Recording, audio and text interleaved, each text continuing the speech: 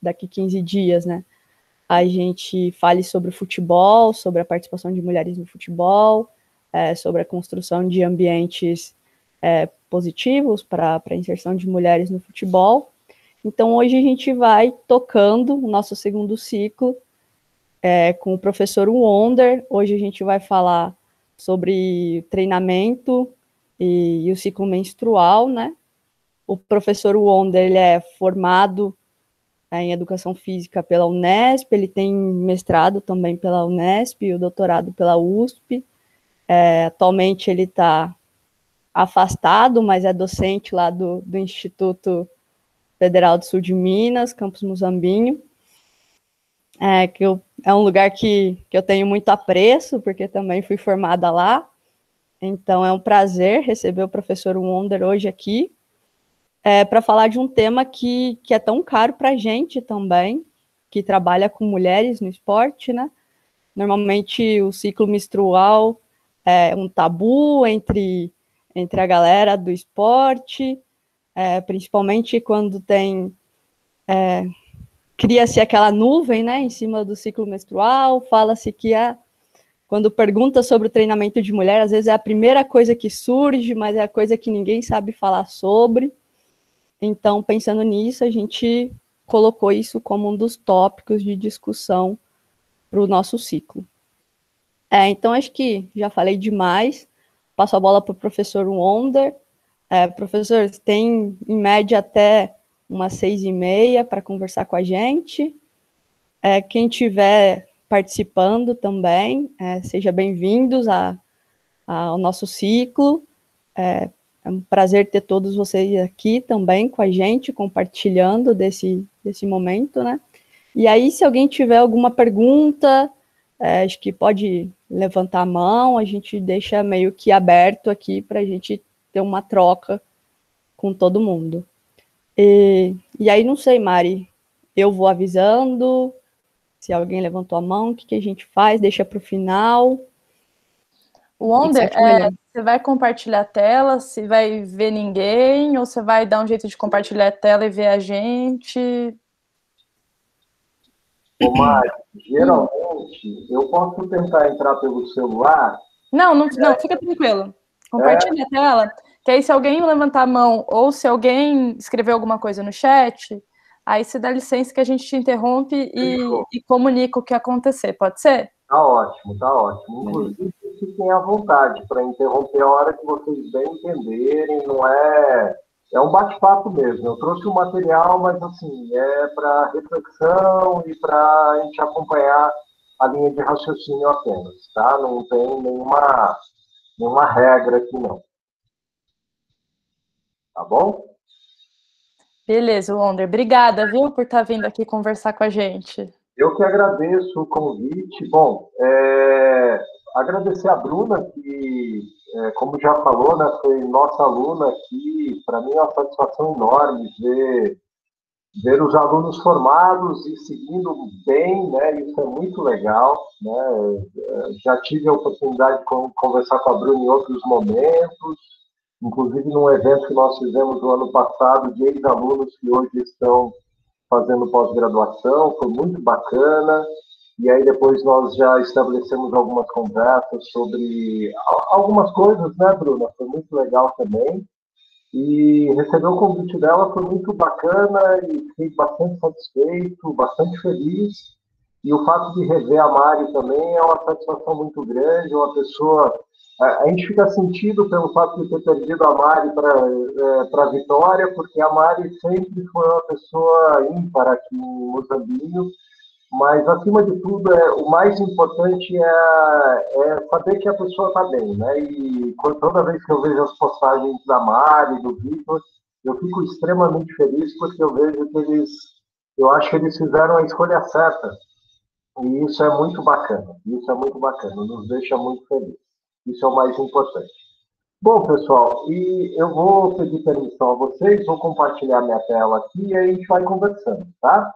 Só um minutinho. Deixa eu colocar aqui, aí vocês vão me falando se vocês estão vendo ou não.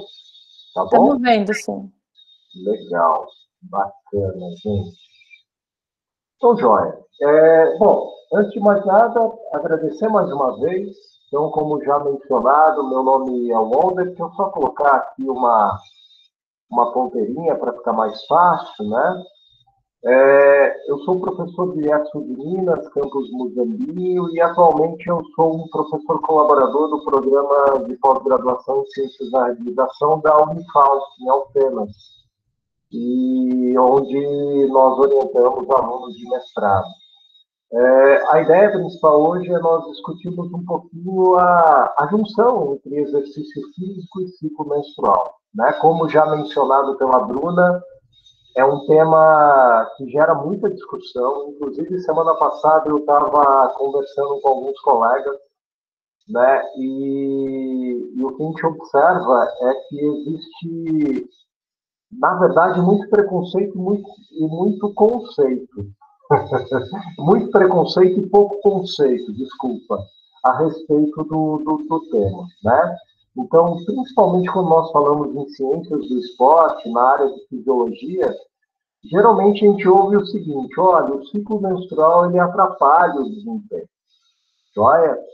E se vocês olharem a maioria dos estudos relacionados à fisiologia do exercício, poucos deles utilizam mulheres como participantes da pesquisa.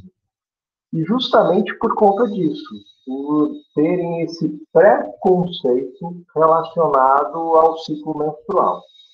E aí a ideia hoje é tentar desmistificar um pouquinho isso daqui.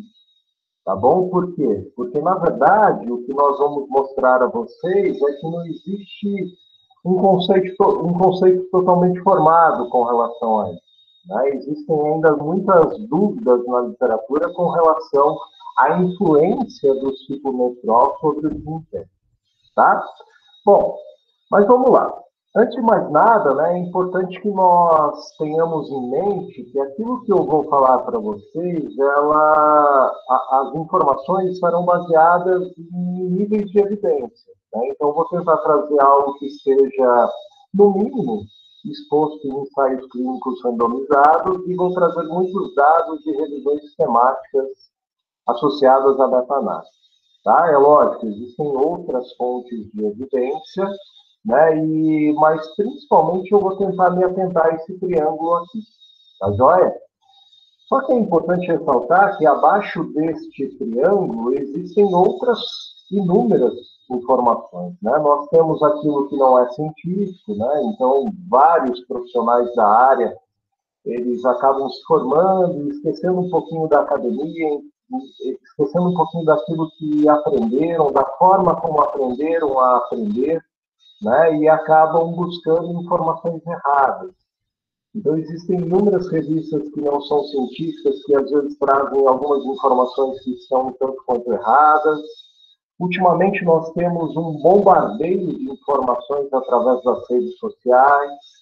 Nós temos as famosas crendices, né? não sei se isso é da época de vocês, eu sou um pouco mais velho que vocês, mas, por exemplo, é, encontrar um chinelo virado era sinal de, de, coisa não muito certa, né? Então isso aqui nada mais é do que uma crendice, né? Não tem fundamento nenhum.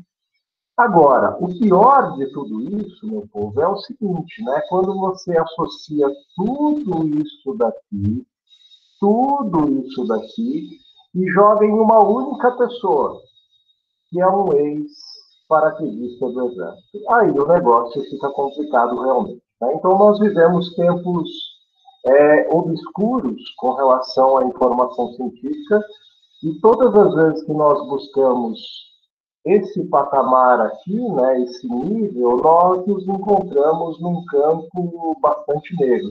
Então, eu vou tentar trazer um pouquinho mais de informações científicas para vocês com relação àquilo que nós temos. Tá? Então, como roteiro, né? A primeira coisa que eu quero trazer para vocês é por que estudar mulheres. E aí depois eu vou fazer uma contextualização com relação a essa pergunta, tá? Depois nós vamos fazer uma caracterização do ciclo menstrual, seus hormônios e a tríade da mulher atleta. Os problemas metodológicos associados aos estudos sobre ciclo menstrual e exercício e as evidências relacionando o ciclo menstrual e o desempenho. Tá? E aí nós finalizamos essa nossa conversa.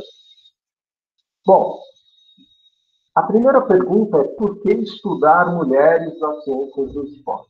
Eu sinto até vergonha de fazer essa pergunta em pleno século XXI, mas infelizmente nós temos que começar é, essa nossa fala aqui fazendo essa pergunta, porque a ciência ainda é extremamente preconceituosa com relação à participação de mulheres. Né? E aí eu vou mostrar o porquê que a ciência é extremamente preconceituosa com relação à participação de mulheres.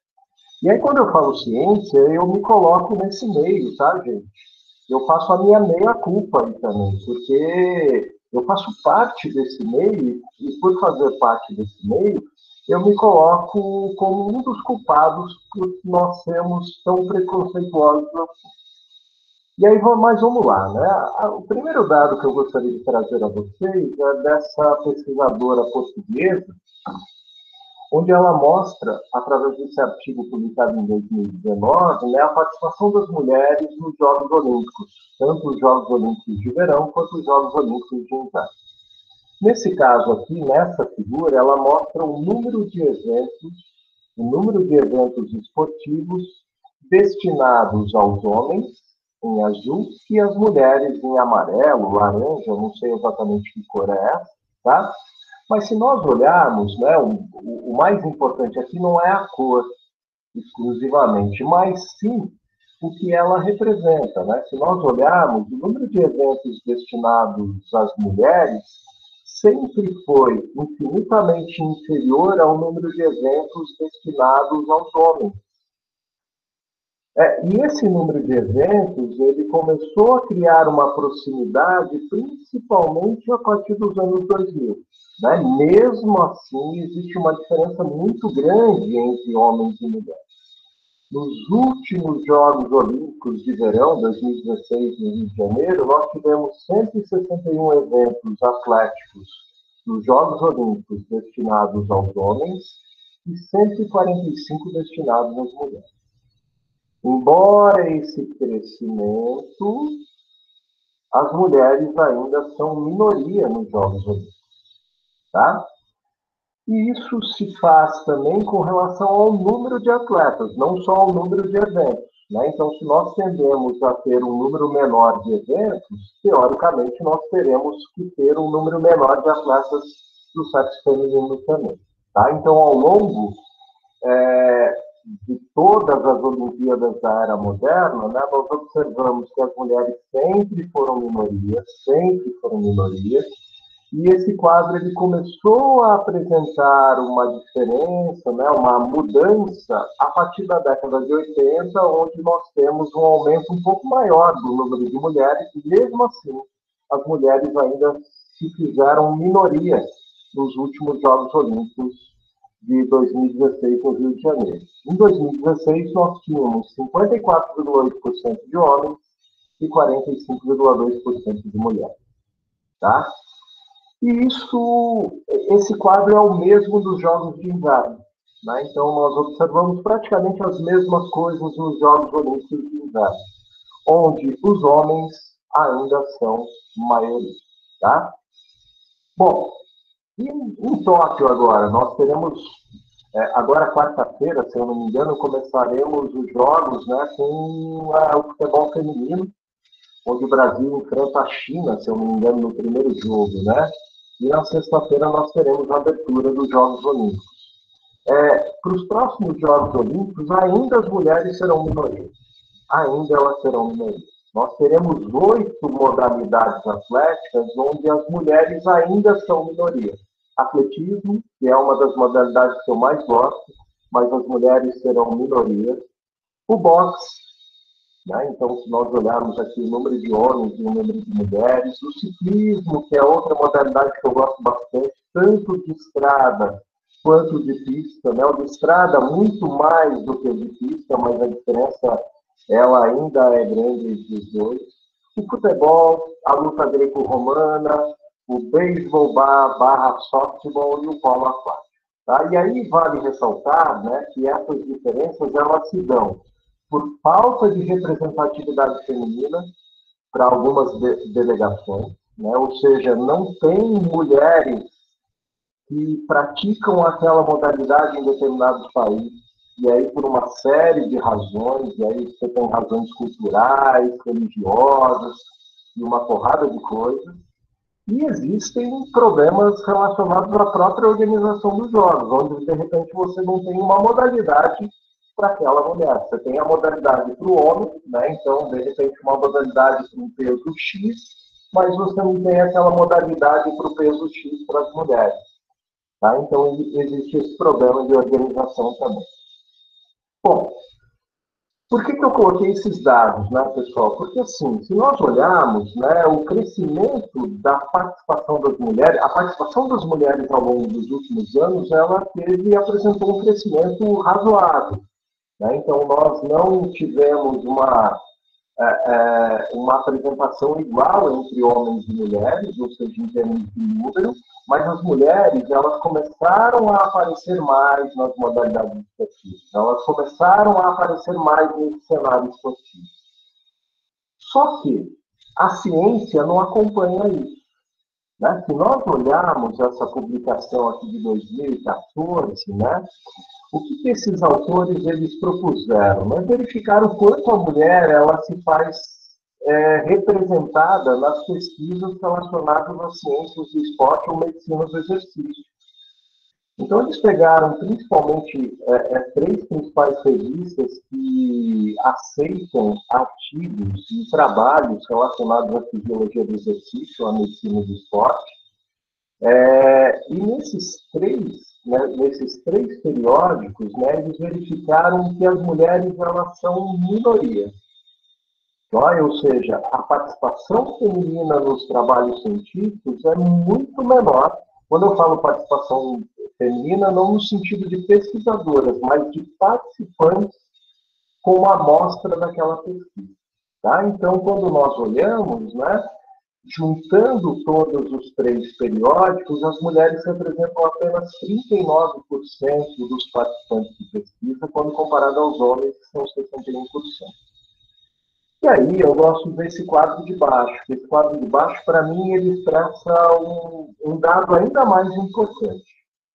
Para os três periódicos, quando nós olhamos amostras estritamente femininas, nós temos apenas 8% nesse periódico 4% nesse periódico e 13% nesse periódico. Ou seja, de todos os artigos publicados dentro de um período, que foi o período estudado por esses autores, de todos os artigos publicados, as mulheres representam menos de 13%. Né? Estudos que estudaram única e exclusivamente mulheres representam menos de 13%. E aí vocês devem olhar aqui e falar, poxa, mas elas estão dividindo a amostra juntamente com os homens. Isso é bacana, Wonder. Não, não é bacana. Sabe por que não é bacana?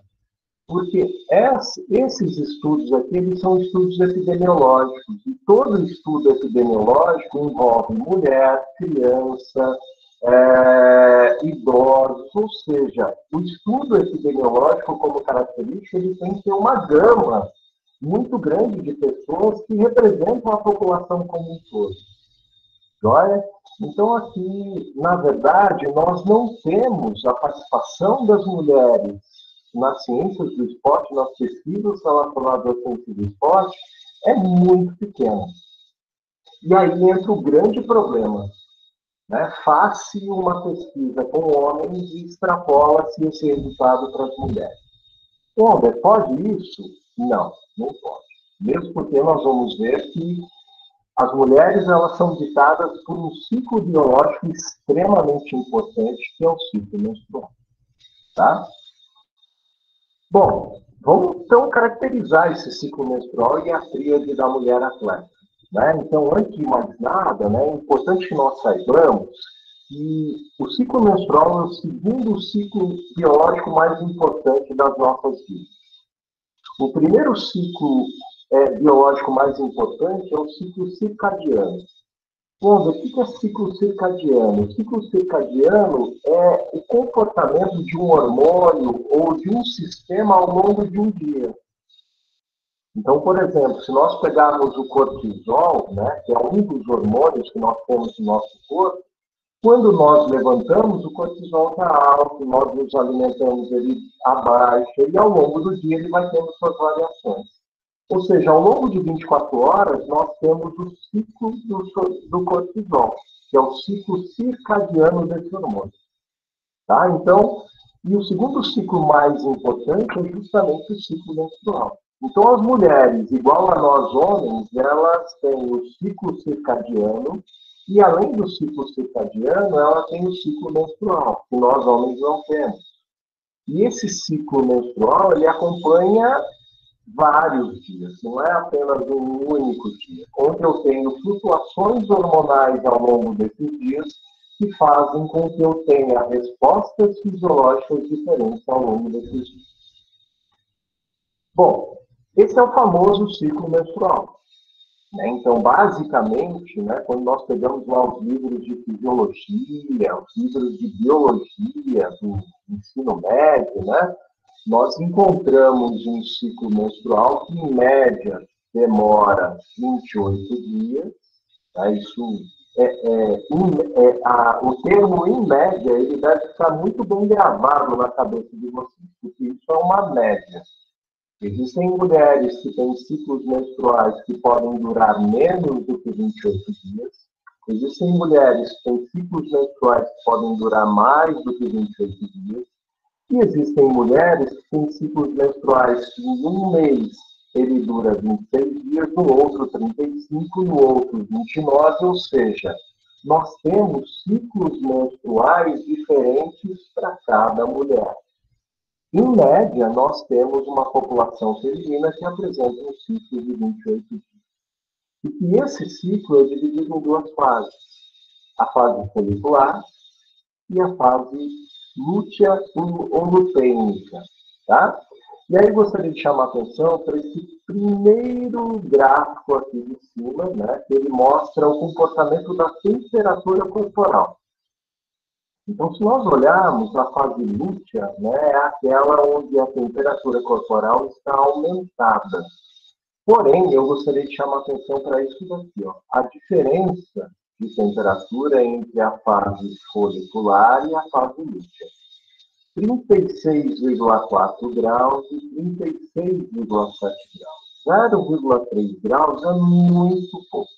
Tá? Embora esse gráfico apresente uma elevação da temperatura aqui, nós vamos ver daqui a pouquinho que talvez isso não seja algo tão influente assim no desempenho da mulher enquanto atleta, enquanto praticante de atividade. Agora, o que realmente pode influenciar são essas flutuações hormonais. Então, basicamente, o que compõe o ciclo menstrual são quatro hormônios, que influenciam outros mais, mas esses são os quatro principais. O primeiro deles é o hormônio folículo estimulante, que está em, nessa cor azul. Assim, né? Se nós observarmos, né, ele a, a, apresenta o seu pico no dia antes da ovulação. Né? Então, aproximadamente um dia antes da ovulação, onde ele, onde ele apresenta o seu pico. A mesma coisa ocorre com o hormônio luteinizante, que é essa cor rosa, eu acho que é rosa, né?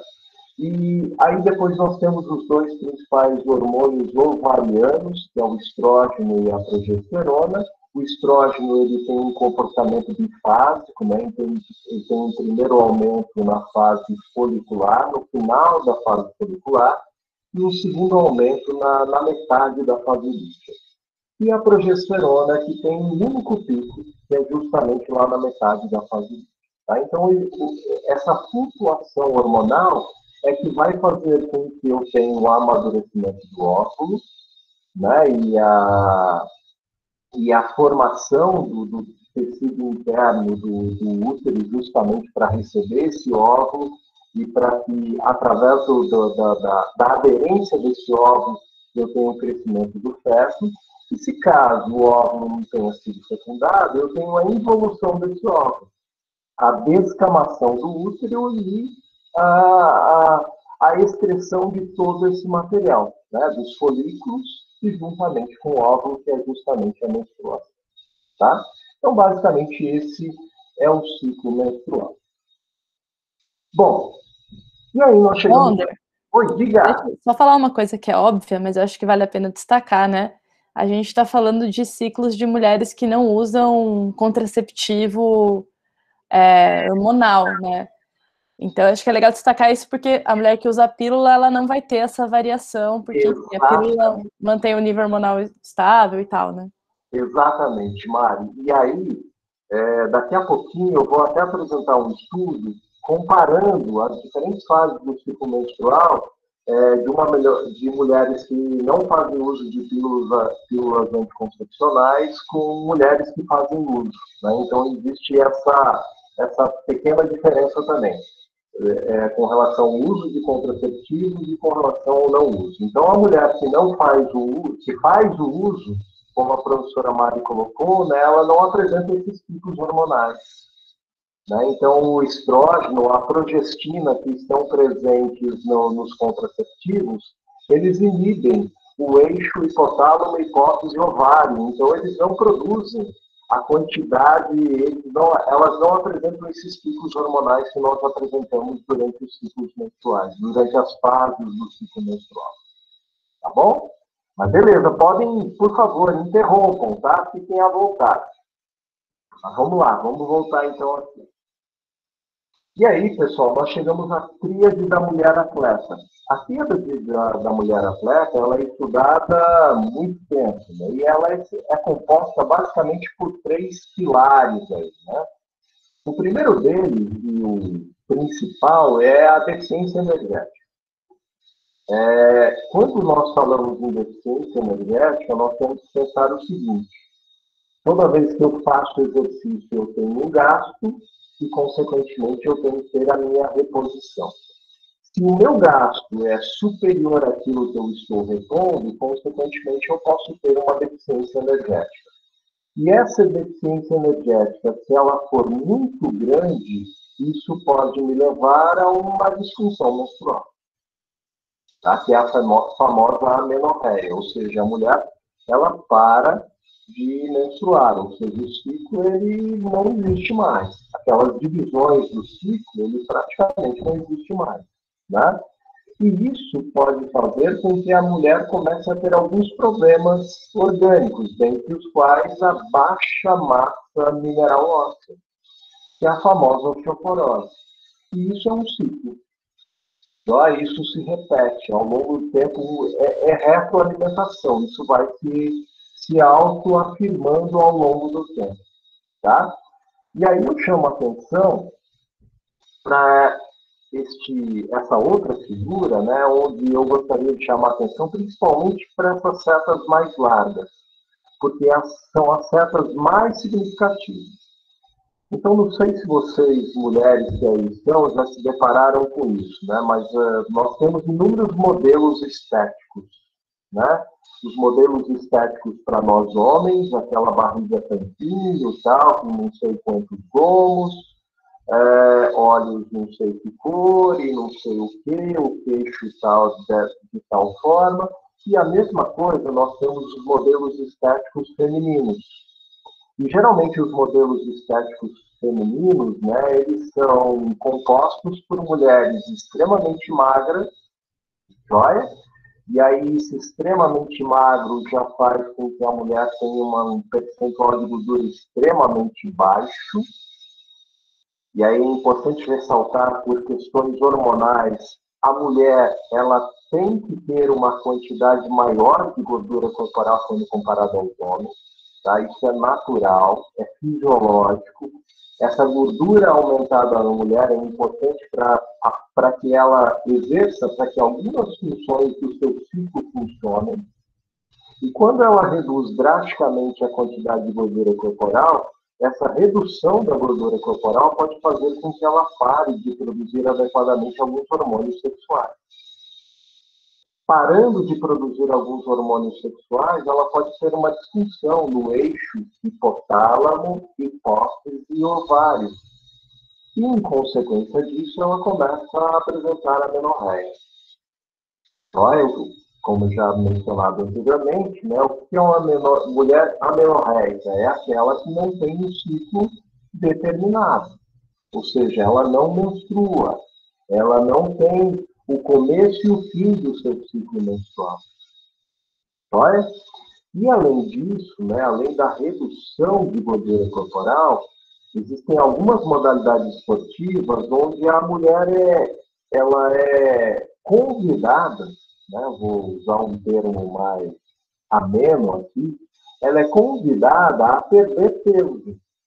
E muitas vezes, na ânsia de perder peso, ela acaba é, tendo uma subnutrição, ou seja, ela acaba se alimentando muito menos do que aquilo que ela precisa. E isso também pode fazer com que ela tenha os mesmos problemas, além de outros associados.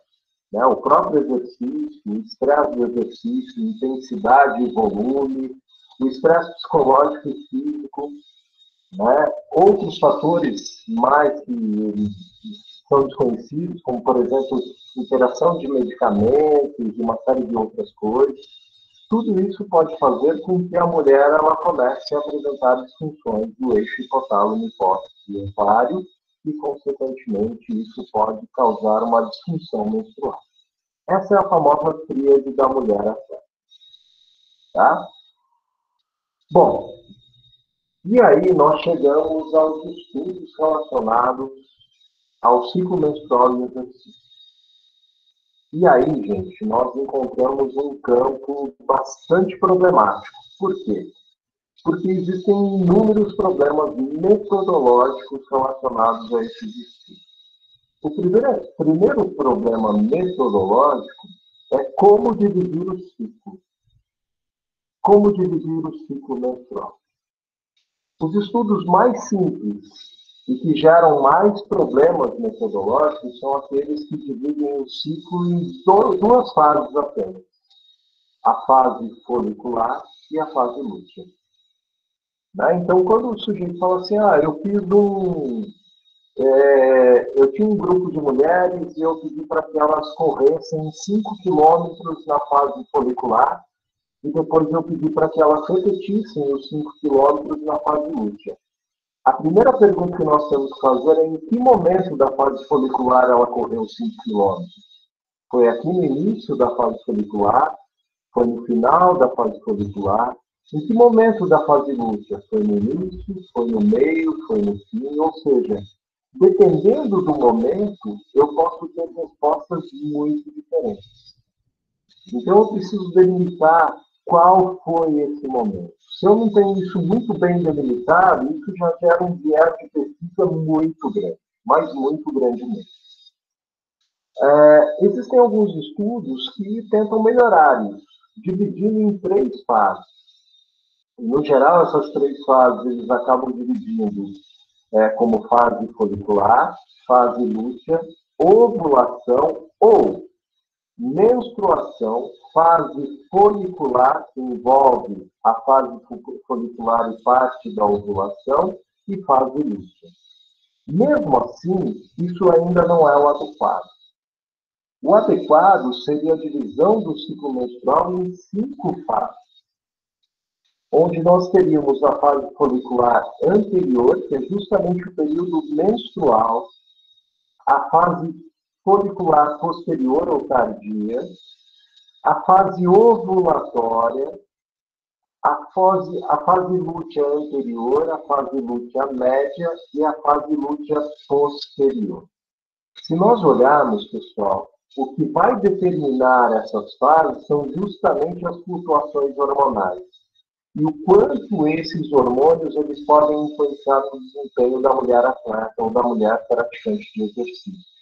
Então, quando eu divido o ciclo menstrual da mulher em apenas duas fases, eu já estou cometendo um erro.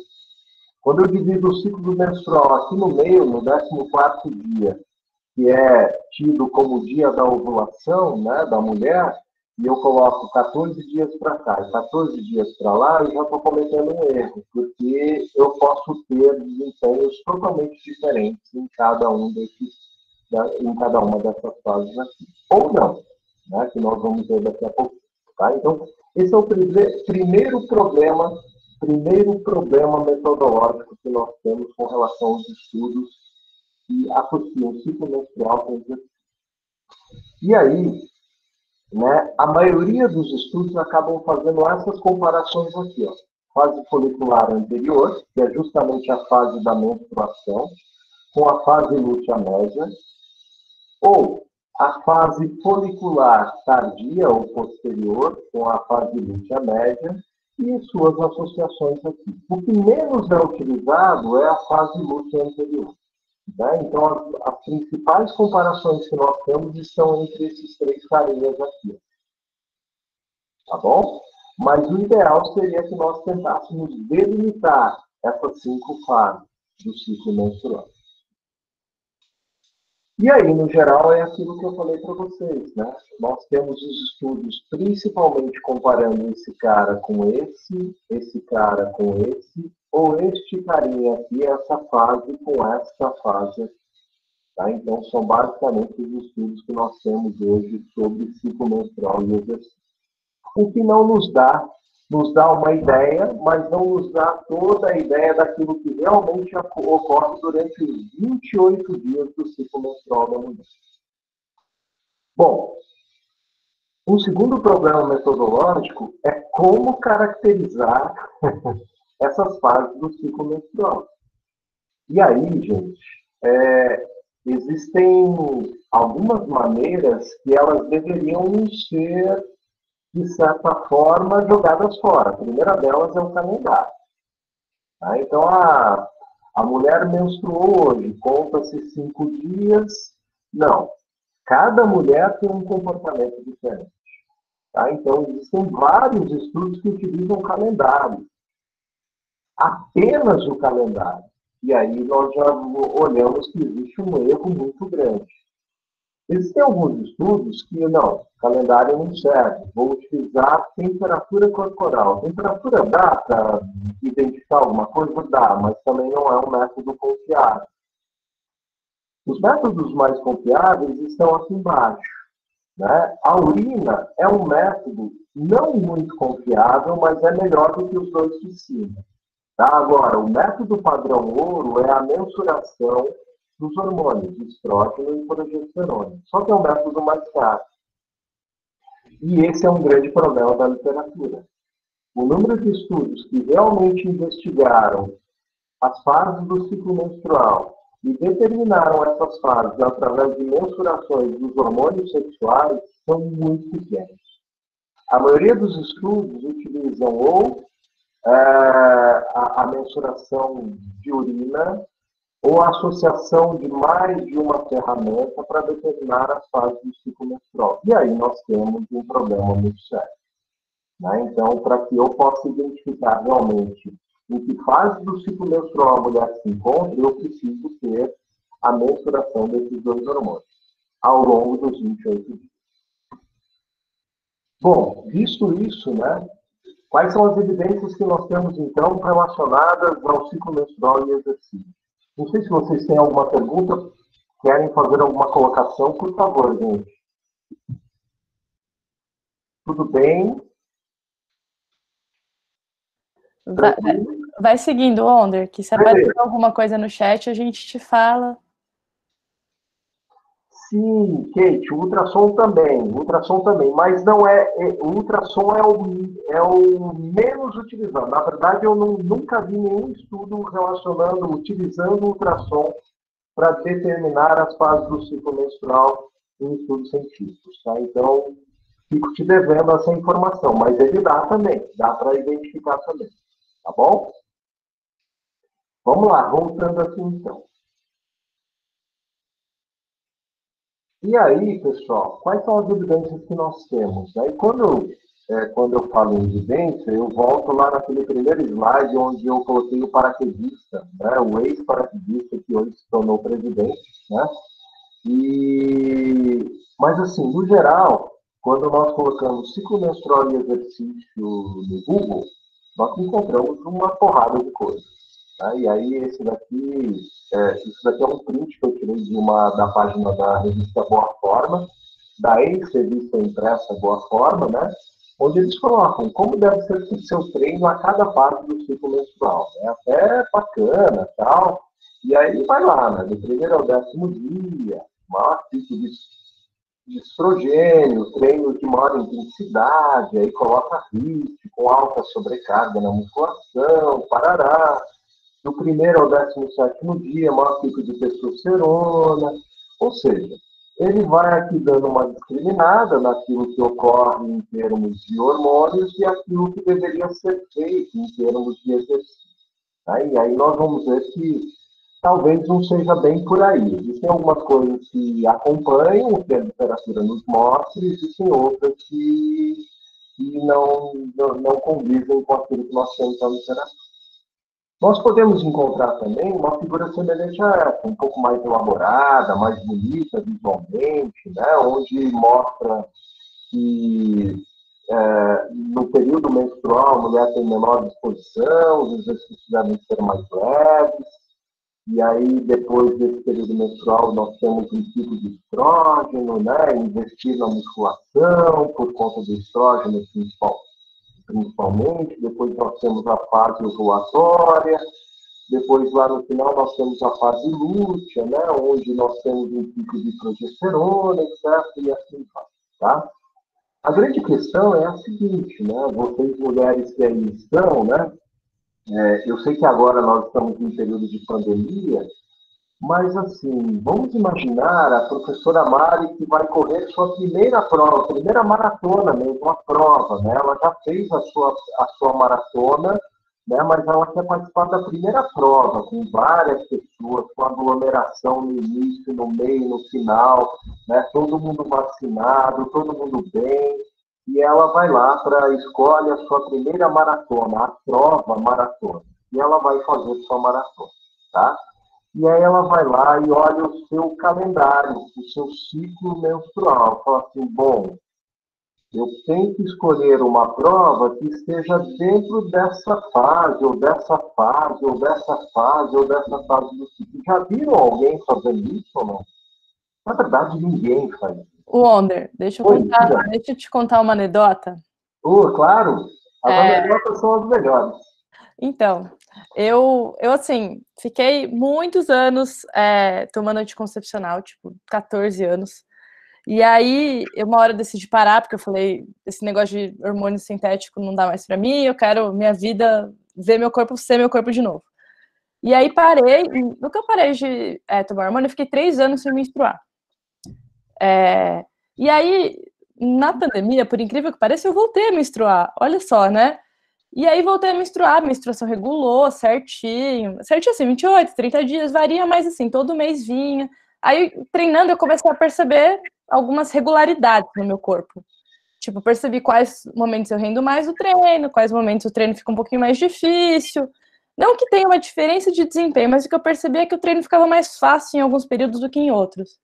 E aí, como eu tinha controle da minha data de prova, pensei assim, olha, eu vou correr minha maratona bem no início do ciclo, que é, assim, parece uma denota, mas o dia que eu menstruo é meu melhor dia de treino, assim, tipo, a, muda da água pro vinho minha corrida. Então, eu vou programar para ser nos primeiros dias, porque, tipo, eu vou estar tá bem, vou estar tá forte e tal, e Claro que meu ciclo atrasou, né? E eu corri, tipo, dois dias antes de menstruar. Né? Então, é aquela coisa, tipo, você pode tentar controlar tudo no mundo, você não controla a sua ovulação, né? Então, de fato, assim, não adianta. E não é que não dá para você correr uma prova de TPM, não é que não dá para você, tipo, correr no, nos seus dias mais difíceis, mas, enfim, Tipo assim, os, alguns treinadores me falavam, toma pílula, se for o caso, para inibir a menstruação. Também acho que, né? Não, não, não, não há. É. Mesmo porque, Mari, nós vamos, vamos mostrar os dados aqui.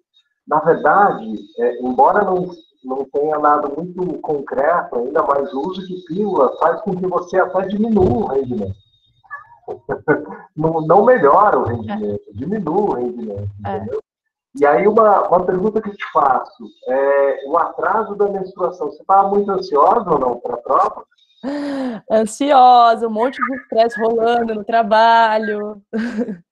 Perfeito, então foi isso, né? Na verdade, essa ansiedade, esse estresse todo é que causa essa. E aí, nós, olha o quanto é um. É, o ciclo menstrual é extremamente importante, né? Saber essas flutuações e acompanhar, isso é muito individual. Uhum. Por isso que os estudos hoje eles não conseguem afirmar para nós, olha, é, existe influência do ciclo menstrual sobre a performance? Provavelmente existe, mas isso é muito mais individual do que coletivo. É. Quando nós colocamos todas as mulheres num bojo só e trabalhamos com média, desvio padrão, etc., intervalo de confiança tal, não existe diferença entre as fases. Mas quando eu vejo a Mari com ela mesma, quando eu vejo a Bruna com ela mesma, a Kate com ela mesma, opa, aí sim, eu posso discriminar fases que são muito mais propícias, que são que a pessoa está muito mais disposta, para fases em que a pessoa está muito menos disposta para a prática de exercício. Ô, André, mas assim, apesar de ter falhado meu plano de correr na, nos meus melhores dias, uma coisa que, em geral, funcionou ao longo do ciclo foi trabalhar com semanas de recuperação perto dessa semana que é a minha semana mais difícil, assim, sabe? As semanas em que o treino sai mais agarrado. Sim, sim. É, é, eu vou mostrar um dado, Mari, de trabalho de força, onde foi um dos únicos estudos, na verdade, existem poucos estudos crônicos, longitudinais, onde os autores eles tentam fazer isso, né? Tentar periodizar de acordo com o ciclo. E aí eles tentam focar é, um trabalho mais árduo em determinada fase do ciclo e um trabalho mais tranquilo em outra fase. E aí esse foi um dos únicos estudos onde eles mostraram que quanto mais trabalho numa fase, melhores os resultados quando você alivia na outra fase, entendeu? Isso é. pode funcionar perfeitamente, perfeitamente, tá? Mas é legal essas histórias aí, porque elas ajudam a gente a discutir. Então, por favor, aqueles que quiserem colocar histórias aí, fiquem à vontade. Voltando aqui então, pessoal. Então, né, é, nós encontramos isso na, na, na internet. Né? Isso é o que é muito comum encontrar, tá? Mas o que nós encontramos na literatura? E aí eu trago o primeiro trabalho, né, o primeiro, é, a primeira evidência aqui é justamente com relação à temperatura. Né? Nós sabemos, nós moramos num país tropical, abençoado por Deus e bonito por natureza, né? Então, é, até por esse calor que nós temos no nosso país, né? Se nós pensarmos que talvez numa fase do ciclo a mulher esteja com a temperatura corporal mais alta, a gente já fala, poxa, calma aí, eu vou sofrer muito mais nessa fase por conta dessa temperatura.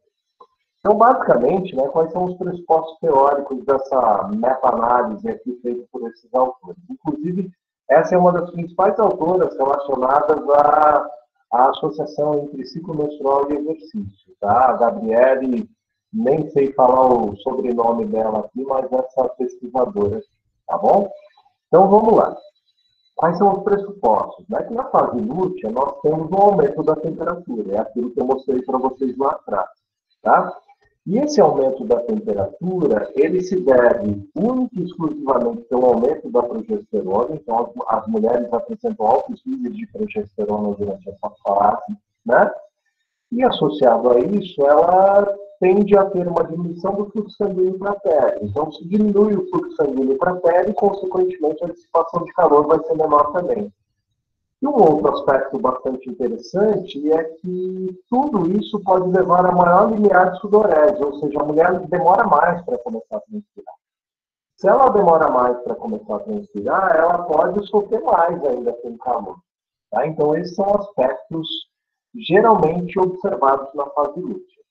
E a fase folicular, que a fase anterior à ovulação, né, é onde eu tenho aspectos totalmente diferentes da fase lútea. Né? Então, eu tenho um aumento do fluxo sanguíneo para a pele, menor limiar de sudorese. Né? Então, teoricamente, em termos de controle da temperatura interna, essa fase folicular ela parece ser melhor. Mas o que essa meta-análise mostra para nós? Né? Então, só para vocês terem ideia, o que é uma meta-análise? Né? Os autores eles pegam vários estudos com nível de qualidade teoricamente alto, né? e aí eles fazem uma análise estatística dos resultados desses estudos. e eles tentam mostrar, e aí, o que esses estudos estão tentando provar para nós? Né? Então, com relação ao o primeiro dado aqui é com relação à temperatura pré-exposto. E aí, a maioria dos estudos, eles mostram para nós que, em média, realmente as mulheres apresentam uma temperatura aumentada antes do exercício na fase lútea quando comparada à fase folicular. Então, a temperatura corporal, quando a mulher chega para o exercício, a temperatura corporal dela está aumentada. Tá? E no pós-esforço, isso persiste? Persiste. Embora menos do que o pré-esforço, a mulher, na fase lútea, ela tende a ter uma temperatura aumentada. Mas isso influencia no desempenho, Longer? Não, não influencia. Então, o que esses autores eles é, chegaram à conclusão que, embora essas temperaturas estejam aumentadas, o aumento da temperatura é muito pequeno.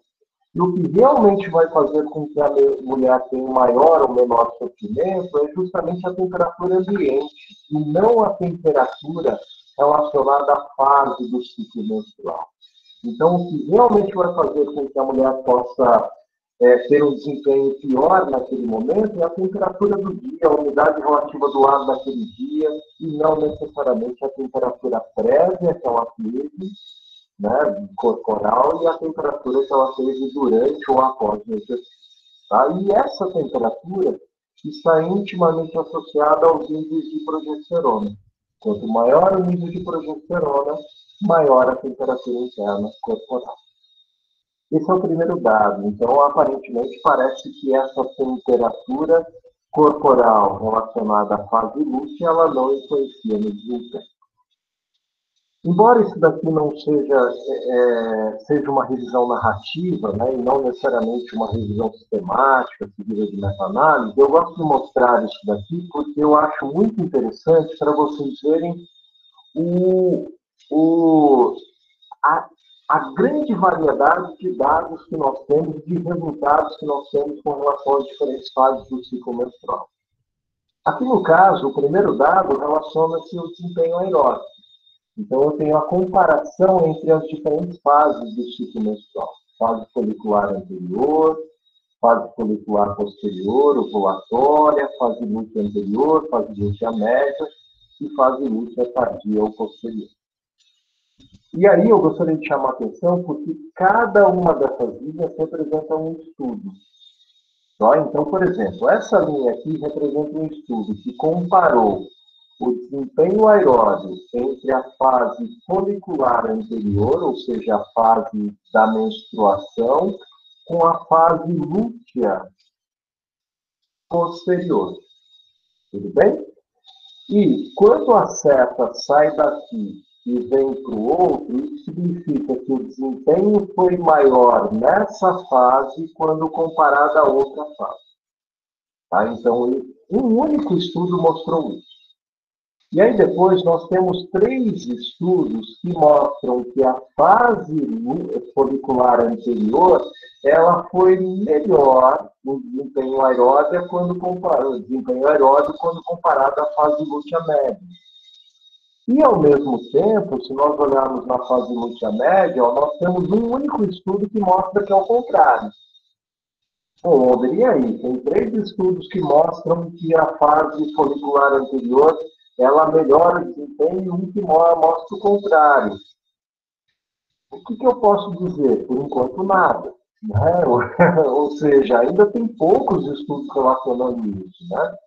E aí entra naquilo que a professora Mari colocou para nós agora. Ela é, é, identificou que, principalmente nessa fase aqui, é onde ela tem o melhor desempenho.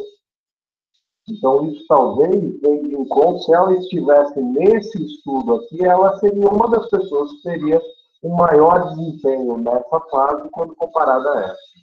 Alguém ia falar alguma coisa? Desculpa. Não? Acho que não, Wonder. Beleza, beleza. Então. E aí a mesma coisa nós temos com relação às outras fases. Se nós olharmos, nós temos vários estudos, né?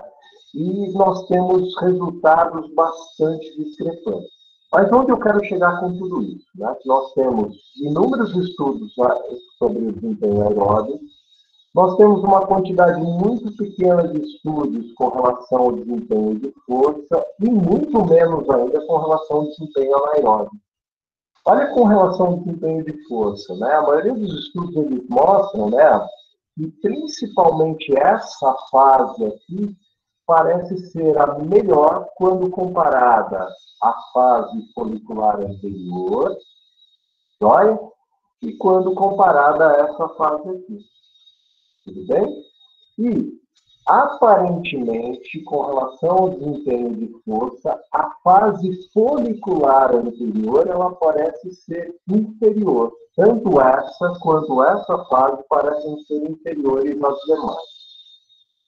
E quando nós olhamos para o desempenho anaeróbio, aparentemente parece que essa fase será melhor, quando comparada principalmente a essa fase Tá?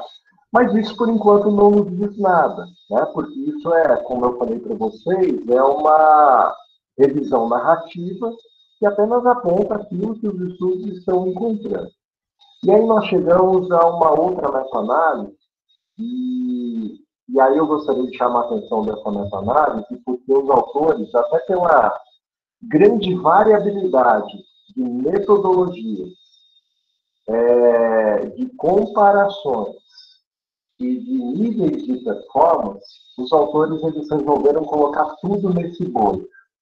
E aí eles têm aqui estudos de alta qualidade, que são esses estudos que têm os asteriscos, e tem estudos com qualidades não tão boas assim.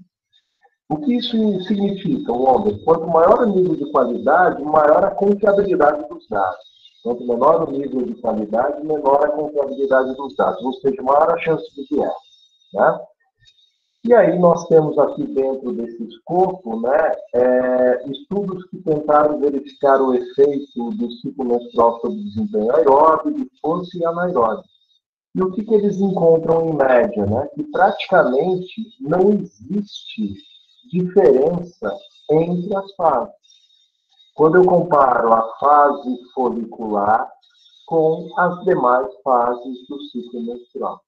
Ou seja, se eu treinar na fase folicular ou se eu treinar em qualquer outra fase do ciclo menstrual, aparentemente eu não tenho diferença significativa com relação ao desempenho.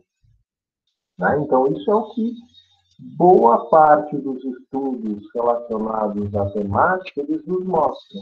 Embora existam estudos que mostrem que as outras fases têm um desempenho melhorado, boa parte desses estudos estão dentro dessa, dessa linha do meio aqui. Ó. Se eles estão dentro dessa linha do meio, significa que não existe diferença estatística entre a fase folicular anterior, é a fase da menstruação, com as demais fases do ciclo menstrual.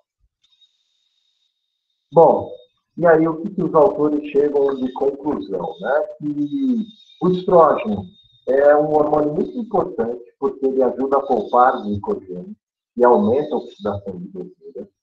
Tá? Então, é, isso seria um fator importante, principalmente na fase folicular. Ele aumenta a estabilidade do sistema nervoso central, então, possivelmente, ali na fase folicular, onde nós temos maior pico de estrógeno, seria muito interessante eu concentrar os meus treinos de força. A progesterona ela tem um efeito contrário, ou seja, ela aumenta a, a utilização de carboidratos, diminui a utilização de gordura, né? E ela diminui a estabilidade do sistema nervoso central. Então, se eu preciso executar velocidade, se eu preciso executar força máxima, talvez eu não consiga de um, com um nível ainda maior na fase lútea. Porém, aparentemente parece que esse, essas, essas diferenças elas são muito pequenas ao ponto de não é, nós não conseguimos discriminar é, principalmente pessoas fisicamente ativas. Talvez essas pequenas diferenças elas possam ser bastante grandes quando nós pensamos num atleta de alto nível. Né? Quando eu comparo um atleta de alto nível a fase lútea com a fase folicular, por conta dessas flutuações hormonais. Tá? E o uso de contraceptivos orais, ele mimetiza, imita a fase folicular anterior. e aí existe uma diminuição pequena, mas uma diminuição trivial aí de performance, tá? E aí as diferenças entre as fases, elas são apenas triviais, ou seja, praticamente inexistentes. Esse é o... Wonder. Oi, diga. Não, eu estava comentando até aqui no, no WhatsApp com a Bruna, que eu ouvi um podcast com a primeira autora desse trabalho, com a Kelly McNully, né? E aí a podcast era justamente comentando essa, essa revisão que ela tinha feito. E aí era um podcast sobre treinamento, né? Então ela ia explicando todas essas conclusões que você muito bem explicou aqui pra gente. E aí, em determinado momento, né, o, o, o entrevistador do podcast perguntava, e aí, né, diante de tudo isso, o que, que você recomenda para um treinador, é, ou treinadora, fazer, né, do ponto de vista da prescrição de treinamento de endurance, né, que era o tema do podcast, é, considerando o ciclo menstrual, né? E acho que basicamente a resposta dela foi na perspectiva de observar a regularidade da sua atleta, né? Porque de fato a literatura, talvez por inconsistência das pesquisas, talvez pela amostragem baixa, talvez por uma série de questões, ou até pela dificuldade da gente encontrar um padrão mesmo, mas a gente não tem evidência nenhuma que a literatura vai te dar uma resposta certeira sobre o que vai acontecer. Não tem. É, é basicamente isso. Assim, já adiantando a conclusão dessa minha apresentação, mas é isso. Não tem, não existe uma nada conclusivo ainda, dizendo, olha, eu não consigo hoje afirmar para vocês e falar assim, olha, treinem mais na fase folicular do que na fase lútea ou vice-versa. Eu não consigo, porque é, agora é, o, o, o que nós temos que fazer é, especialmente é verificar o comportamento diante das fases, individualmente. Aí sim você consegue ter um trabalho diferenciado. Existem mulheres que talvez consigam ter um desempenho maior, maior em determinada fase quando comparada a outra mulher.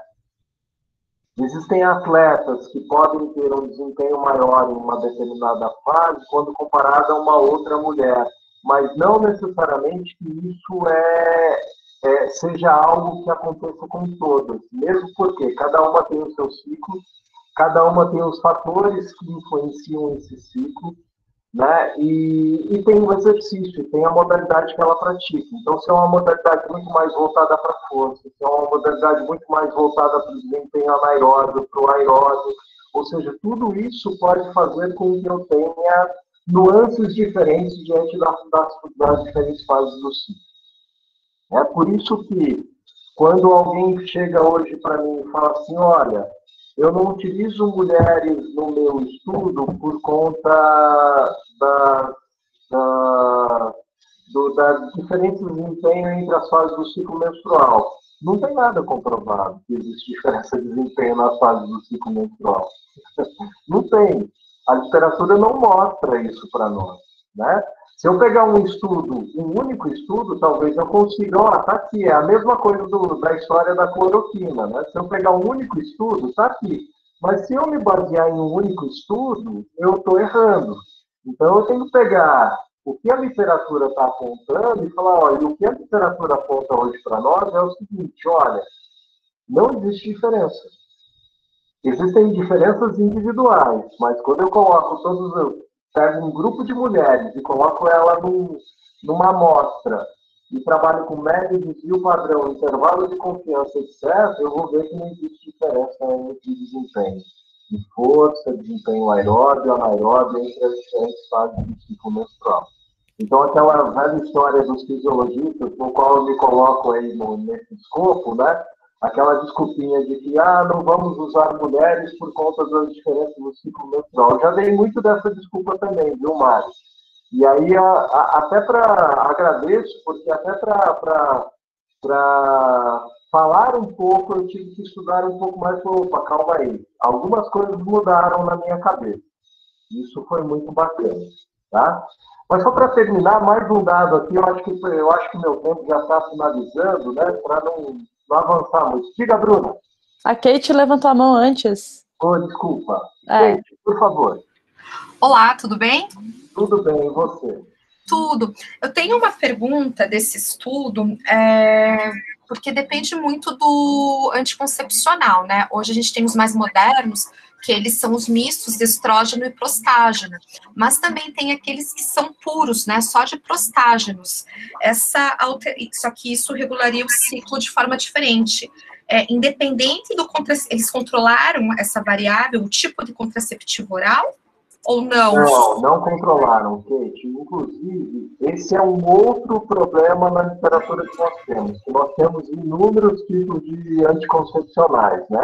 No geral, é, os estudos que, que buscam é, estudar o uso de anticoncepcional, eles tentam isolar, tentam controlar usando apenas os monofásicos, né, que são aqueles onde eu tenho níveis constantes de, de estrógeno e progesterona ao longo do ciclo. Tá? Agora, nós temos os, os anticoncepcionais orais que são bifásicos e trifásicos né, que tentam acompanhar as ondulações, as ondulações diante do ciclo. E são pouquíssimos os estudos que fazem isso, Kate. E aí uma outra questão que você colocou, que são justamente as doses. Né? Então, assim, tem muito pouca coisa ainda, Kate. Muito pouca coisa. E o que tem faz com que nós não consigamos ter, é, falar, olha, é isso não, não tem, não tem condições de nós falarmos aí. Agora, o que dá a entender, o que dá a entender é que o uso de anticoncepcional ele parece influenciar de forma negativa, negativa. O que dá a entender, mas não tem nada ainda. Eu não consigo afirmar para você, olha, se você usar anticoncepcional, seu desempenho vai ser menor. Não consigo. Não coloco a mão no fogo para falar isso. De nada. Bruna? É, Wonder.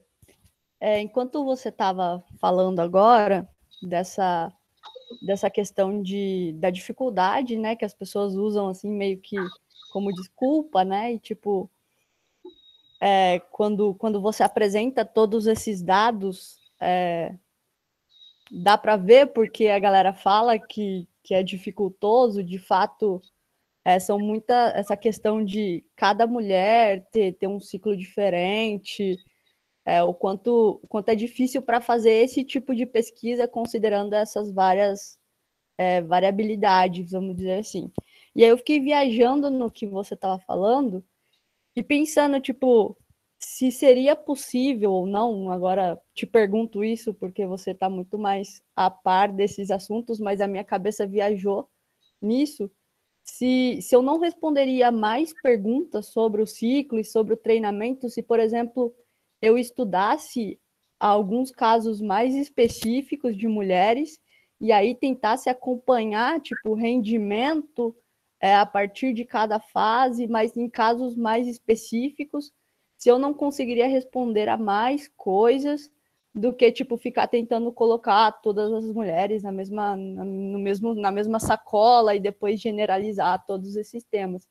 Tipo pegar o caso da Mari que tem é, um, um, melhor rendimento em tal época e, ter, e, e, e um menor rendimento em outra e tentar ver qual é esse rendimento o tamanho desse rendimento o que que eu posso é, melhorar em questão de, de treinamento sobrecarga nananá Estou viajando porque eu também estou bem por fora da parte de fisiologia, de treinamento.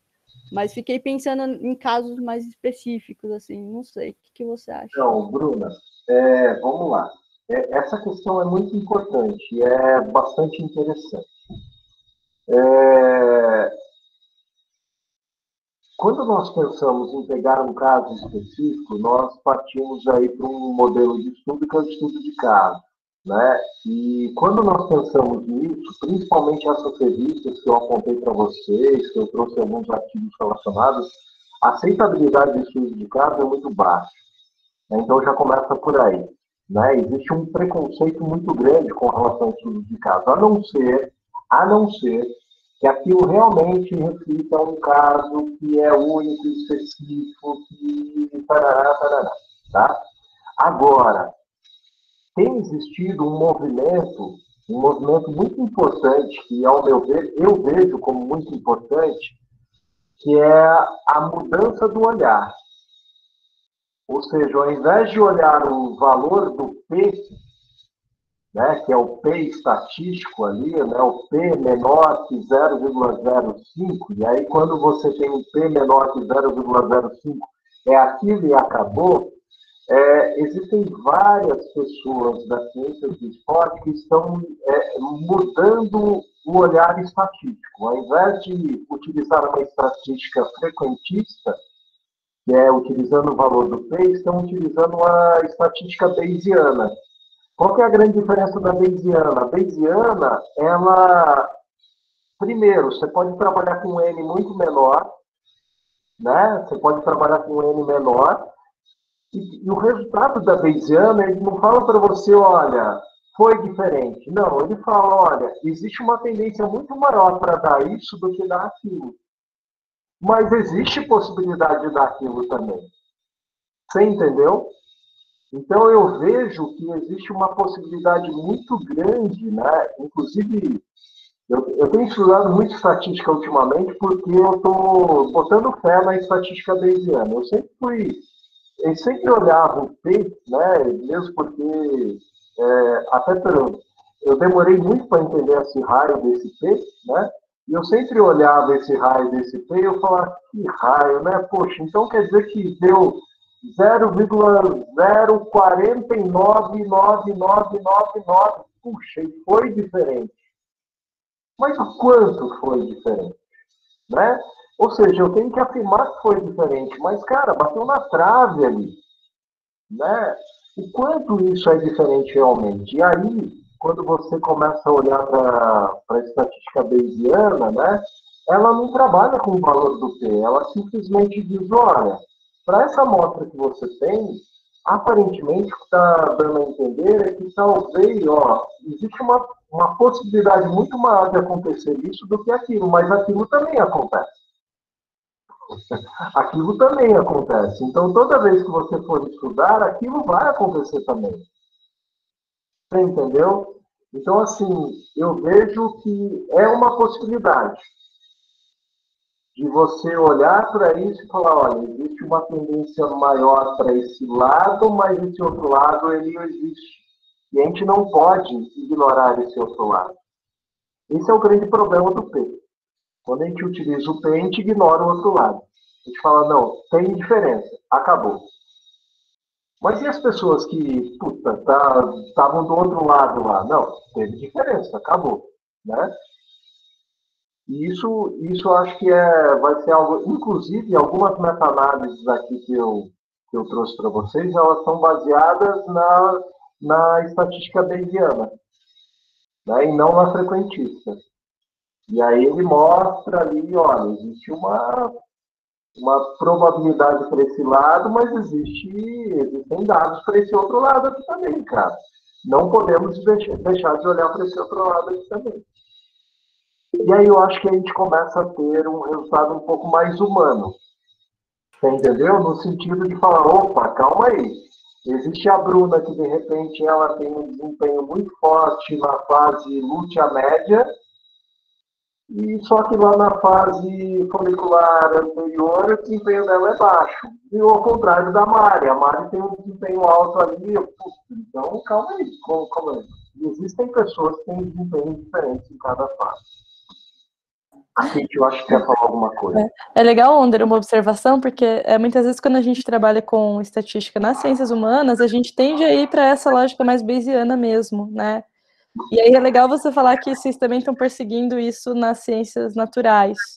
Demais, tá? tem aumentado demais. Inclusive, Mari, um pesquisador da área de, da, da, da, da medicina do esporte chamado Hopkins. Ele tem criticado fortemente a estatística frequentista e ele tem proposto de uma forma até árdua, assim, o uso da, da estatística bayesiana. E aí está todo mundo, até pelo respeito que esse cara. E ele foi um dos grandes adeptos da frequentista, né? E até pelo respeito que ele inspira na área, está todo mundo assim, puta, temos que aprender a fazer essa estatística bayesiana, cara. Como que faz isso? Né? E, aí você começa a olhar tudo, né? Você não, não olha apenas aquilo, você, você não olha apenas um intervalo de confiança, você olha além disso tudo, né? Então isso é muito bacana. Que legal, acho que a Kate e a Jéssica levantaram a mão. Agora, agora o pessoal perdeu a vergonha dela. É, legal, vamos embora. Legal. Ah, legal. É, não, é só do Hopkins, né? O grande problema é que ele defende muito a mínima mudança detectável, né? Mas o grande problema é que para publicar, se você não fizer o básico, feijão com arroz, meu, tem que fazer o feijão com arroz e daí a, a MMD a mais, né? Não, só um comentário. É, ainda estou encucada aqui com a questão dos contraceptivos orais, né?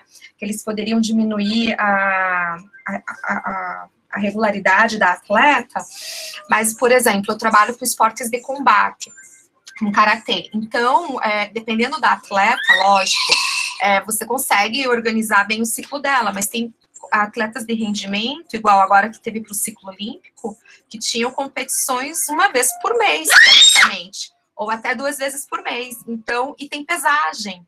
Então, às vezes, é, a pequena queda lá no desempenho pelo uso de contraceptivo é muito pequena comparado ao acúmulo de líquido, retenção hídrica, alterações de humor, né, que essa menina vem a fazer. Então, no karatê, por exemplo, na seleção, as meninas elas são indicadas por gineco para utilizar uso contínuo e as que precisam competir internacionalmente, que tem um volume competitivo muito grande, inclusive para cessar naquele ano o ciclo, né? Não sei se você tem alguma sugestão a favor, contra, ou cada um é cada um. É, Kate, ó, com relação ao uso de contraceptivo, embora eu tenha falado aqui para vocês, olha, existe uma, a, uma diferença pequena de desempenho, e realmente existe, mas essa diferença pequena é trivial. Ela é assim, é, ela talvez ela possa representar é, milésimos de segundo para uma corredora de 100 metros, talvez ela possa representar 20 segundos, 30 segundos ali para uma maratonista, você entendeu? Ou talvez ela possa representar um golpe um pouco mais rápido de uma karateca. Né? Então, sei lá, um golpe que sairia em 150 milissegundos, ele sai em, em cento e, é, 120 milissegundos, né? Ele sai, ele sai 180, desculpa, ele sai mais lento, né? Então, assim, talvez seja isso, mas se nós olharmos 150 milissegundos para ela desferir um golpe para 180, é uma diferença muito pequena. Você entendeu? Então, até a, através dessa análise de um estudo aqui que eu, que eu tenho, né, que, que os autores eles comparam o uso de contraceptivos orais e o não uso, embora exista uma, uma possibilidade de não usar ser melhor do que usar, não existe diferença. Não existe diferença. As diferenças são triviais, são muito pequenas. Muito pequenas mesmo. Tá? Então, assim, é, depende do conforto que isso pode trazer para o atleta. Na minha opinião, se o uso de contraceptivo vai trazer um conforto maior para ela, ao invés de não usar, é o uso de contraceptivo.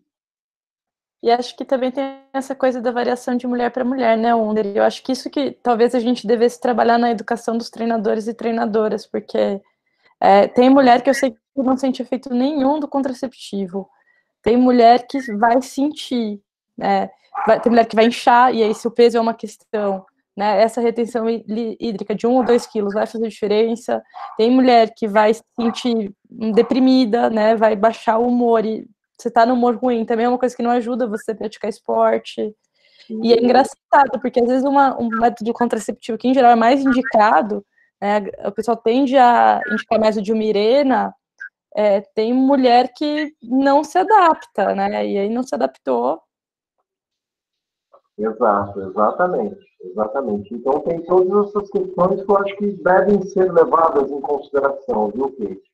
E é difícil eu, eu particularmente não consigo, não consigo mesmo te dar uma afirmação. A única coisa que eu sei te dizer hoje, né, é que praticamente não existem diferenças entre as fases. Quando a gente pensa estatisticamente, não existem diferenças entre as fases do ciclo menstrual, não existem diferenças entre as fases do ciclo menstrual de uma mulher que faz uso de, contraceptivos, de, uso de contraceptivos orais e uma mulher que não faz uso de contraceptivos orais.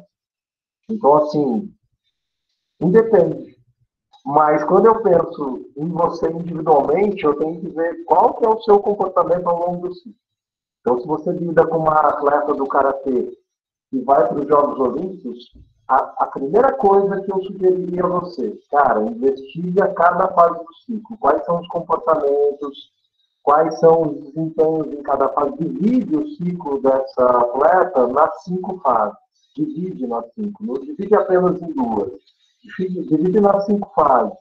A fase folicular anterior, a fase folicular posterior, é, a fase ovulatória, a fase lútea anterior, média e posterior e aí tenta ver o que você quais são as respostas dessa mulher ao longo dessas cinco fases. E aí você consegue ter um mapa dessa sua atleta. Eu, ver, eu acho que mais alguém aqui fez uma pergunta, Mari. A Jéssica levantou a mão. Oi, Jéssica, por favor. Oi. Alguém fez uma pergunta no chat também. Mas eu vou tentar não me alongar muito. É, obrigado, professor, pelas exposições, foram excelentes, né? Muito claras. Agradeço demais. Só que eu vou, eu vou fazer a questão é, porque você deu a, uma certa abertura para essa crítica a modelos estatísticos e matemáticos, né? E atualmente, durante as férias agora, esse privilégiozinho que eu estou tendo, eu estou lendo um livro chamado Algoritmos de Destruição em Massa. Como que a Big Data ela aumenta a desigualdade e ameaça a democracia, da Kate O'Neill, né? E ela é matemática. E assim, quando você falou sobre essa questão do, do modelo matemático, me veio à mente porque o modelo matemático ele tem uma certa reputação de imparcialidade. E aí no livro é, eu achei muito interessante porque ela vai deixando claro o tanto que determinadas ideologias e objetivos eles vão sendo refletidos também por meio desses modelos, né, estatísticos e matemáticos. E aí eu queria saber é, de você, assim, porque a, a, maioria desses estudos eles estão enquadrados dentro de um determinado modelo, eles têm um, um método a ser seguido, né? A amostragem geralmente ela vai tentar atingir um, um, certo nível de heterogeneidade, mas os resultados eles vão tender a uma tentativa de homogeneizar e generalizar. Né? E aí eu queria saber de você até que ponto esses modelos matemáticos também eles não vão gerar a exclusão de determinadas mulheres deste cenário. Né? É, o quanto eles não vão, por exemplo, é, reproduzir um determinado modelo de mulher e tomar ele como um modelo atlético. Né? Até que ponto um determinado tipo de feminilidade ele não vai ser colocado é, como mais importante ou como o modelo é, a ser identificado ali, né? Em termos de gênero, é, eu até peço desculpas por não estar sabendo muito bem elaborar a pergunta, mas é mais essa situação, né? É, de eu achei, eu tenho achado o livro dela muitíssimo interessante. Né? Ela tem mostrado, olha, tem uma certa ideologia por trás também. As pessoas que desenvolvem esses estudos, é, que desenvolvem até um, um, um, determinado protótipo mesmo de rede, de rede social para avaliar as pessoas ou não, elas, elas podem sim é, colocar como democrático algum tipo de coisa, só que dentro dessa democracia há uma exclusão e um abismo gigantesco. Né? É, e aí eu queria te ouvir em relação a isso, porque, por exemplo, quando a gente pensa as ciências, as, as biodinâmicas, né, essa sub-área biodinâmica da educação física dentro da área educação física, a gente percebe que a maioria das pessoas que fazem estudos, por exemplo, são pessoas brancas. E muitas vezes elas vão reproduzir alguns tipos de estereótipo em relação à população negra. Ou, vamos supor, quem dita as regras sobre uma pessoa transexual competindo, muitas vezes vai ser incapaz de levar essa pessoa para dentro de um laboratório. Por medo, talvez, né? E aí, até que ponto a gente não vai criando ainda mais divisões aí, ainda mais exclusões. Desde já, obrigado a você, a professora Mari, a Bruna, né, por essa mediação aí que vocês fizeram. Foi excelente, eu só tenho a agradecer. Muito obrigado, professor. Ô, Jéssica, eu que agradeço sua pergunta, suas colocações, eu acho que elas são muito pertinentes. E aí, é, eu vou fazer minha consideração que eu acho que o problema, além de dele ser matemático, ele começa na elaboração do projeto de pesquisa. Nós já começamos a discriminar no, no momento em que nós colocamos os, os, os benditos critérios de inclusão e exclusão. Porque qual é a ideia estatística? Né? Que você retire uma amostra é, que represente a população. Só que na população, você não tem só pessoas que vão de 18 a 30 anos, você não tem só pessoas que têm X, Y Z. Então já começa por aí. Né? Então, é, às vezes eu olho assim, Jéssica, e eu vou ser sincero com você. Às vezes eu pego um estudo, eu leio tal, e aí eu tento digerir aquele resultado, só que ao mesmo tempo aquilo me causa um desconforto. Por que me causa um desconforto? Porque eu fico pensando no quanto aquilo realmente representa a população. Que a ideia da estatística é linda, né? Você pegar uma amostra que represente a sua população. Para eu pegar essa amostra que representa a população, eu vou lhe dar como exemplo. Eu tenho que pegar, ah, vou estudar, eu vou estudar um shampoo, né? Você tem que pegar os cabeludos e os carecas. Se você pegar apenas os cabeludos, como que aquele shampoo vai agir com relação aos carecas? Né? Então você já está sendo. Você entendeu? E aí vai de encontro aquilo que você falou. E eu concordo perfeitamente. Então, na minha opinião, já começa lá atrás, no momento em que aquele aluno entra no laboratório e no momento em que aquele, o professor, o orientador daquele aluno já começa, né, sabe, as tábuas do Moisés, né? Então já existe lá os pergaminhos do laboratório, dizendo, olha, existem os critérios de inclusão e existem os critérios de exclusão. Vamos seguir esses critérios de inclusão e exclusão. E aí, quando você vai para aquele laboratório, você só tem aquilo. Ele não estuda mais do que aquilo. Né? E, e aí, Jéssica, é, a, minha, a minha ideia com relação a isso, eu vou ser extremamente sincero, ela começou a mudar de uns oito meses para cá, quando eu comecei a estudar um pouco mais a Bayesiana. Quando eu comecei a estudar um pouco mais a Bayesiana. E eu comecei. E por que, que eu comecei a estudar um pouco mais a Bayesiana? Né? Porque, primeiro, porque eu não conhecia, e segundo, porque eu, eu comecei a ficar incomodado com o valor do Q. Aquilo me incomodava. E aí eu falei, nossa, pô, aí vi um aluno feliz, ó, oh, professor, o P deu 0,03, show! Ah, puta, mas não é por que, que a gente tem que comemorar? E se ele desse X, Y, Z? Né? Então, eu acho que.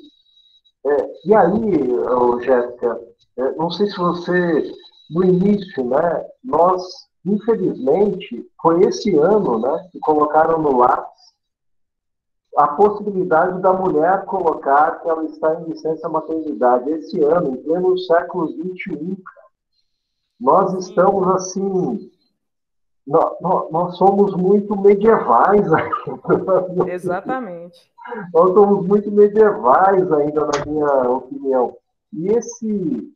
É, é, é, é essa, essa barbárie, né? Ela é está sendo expressa por, por esse momento conturbado que nós estamos vivendo. Nós estamos vendo tanta coisa ruim, né? E eu acho que a ciência também está mostrando um monte de coisa ruim dela. Né? Que existem coisas boas, mas existem muitas coisas ruins. Muitas, muitas, muitas. E uma delas começa com esses modelos pré-fabricados. Então a gente não reflete sobre esses modelos. Os famosos critérios de inclusão e exclusão, o que pode e o que não pode, é, o que vai, o que não vai naquela, naquela pesquisa, e aí você fica amarrado. E aí você acaba expressando um resultado que serve para um pequeno nicho da população, mas não para todo mundo. E aí não sei se isso é pesquisar, não sei se isso é ciência. Na minha opinião, sei lá, eu posso estar muito enganado, mas eu acho que isso não é ciência. Se a ideia da ciência é justamente você tirar uma parcela, já que você não consegue estudar a população, mas tirar uma parcela daquela população, onde você consiga depois é, jogar para a população de volta um resultado que possa ajudar aquela população, se você limita o que você está tirando da população, você não vai estar, tá, você só vai conseguir contemplar uma pequena parcela daquela população. E talvez seja a parcela que você queira que você queira contemplar e não aquela que realmente merece ser contemplada. Então, eu acho que Sabe aquela história de racismo estrutural? Então, eu acho que tem um viés estrutural, um viés estrutural muito forte na ciência. Muito forte, muito forte mesmo. E a gente precisa começar a repensar isso nos programas de pós-graduação, né? que onde a gente está formando futuros pesquisadores. Na minha opinião, começa por aí. Nossa, Wonder, que bom que você, assim, que bom que a gente gravou essa aula, porque eu juro que eu quero, tipo, dar de lição de casa para os meus alunos de epistemologia no doutorado. Muito legal. É, assim, Maria, eu, eu tô, eu ando muito, muito melancólico. Vocês me, me desculpem, mas eu ando muito melancólico ao longo dos, dos últimos meses. Eu acho que até por o fato de nós ficarmos muito isolados dentro de casa, né, eu acho que faz com que a gente comece a refletir sobre inúmeras coisas, né? E, e, e, principalmente pelo fato de eu ter me afastado agora para o pós-doc, né, fez com que eu refletisse um pouco mais sobre a ciência. E na minha opinião, a gente a gente está muito aquém daquilo que deveria ser, né? E, e principalmente a área na qual eu atuo a área na qual eu atuo, ela, ela é muito desumana, né? Então, essa é muito matemática. Uhum. É, é, é na minha opinião, nós não podemos lidar com o ser humano, é, eu não posso extrapolar o resultado para uma população através de um número. Uhum. Né? Mesmo porque dentro daquele número eu tenho disparidades. Né? Uhum. Né? Tenho resultados que vão para cima e vão para baixo. E aí, como é que eu lido com isso, né?